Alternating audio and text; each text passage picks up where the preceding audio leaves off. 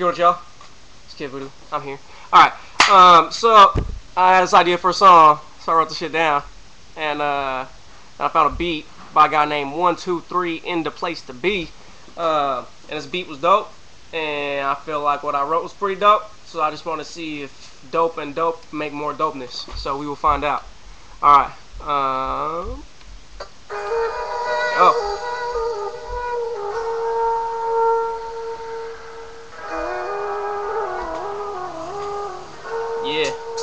Yeah.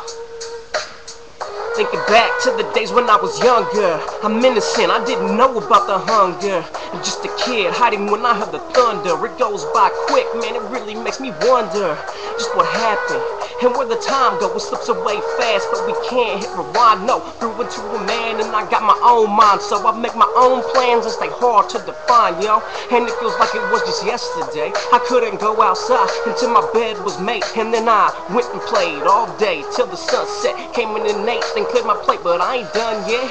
Taken care of, had no stress in my life. I didn't worry about a job or trip on getting it right. And every time I laid my head down at night and closed my eyes, the furthest thought from my mind was how this would go by. Yeah.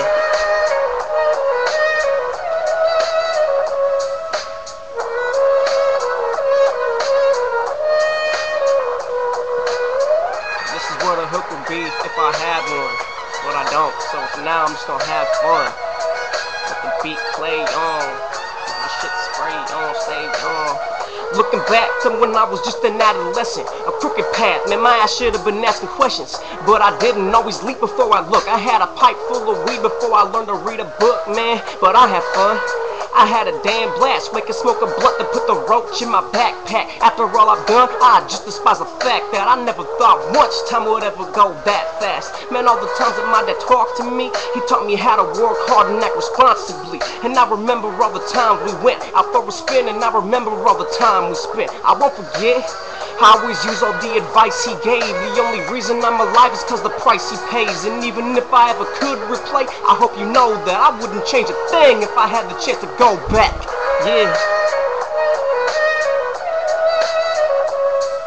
That's pretty much that. And this is uh, a big old hook that I don't have written, unfortunately, for y'all.